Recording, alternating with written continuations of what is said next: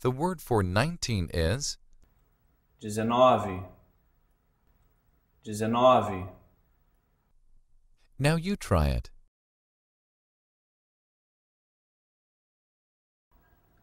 dezenove,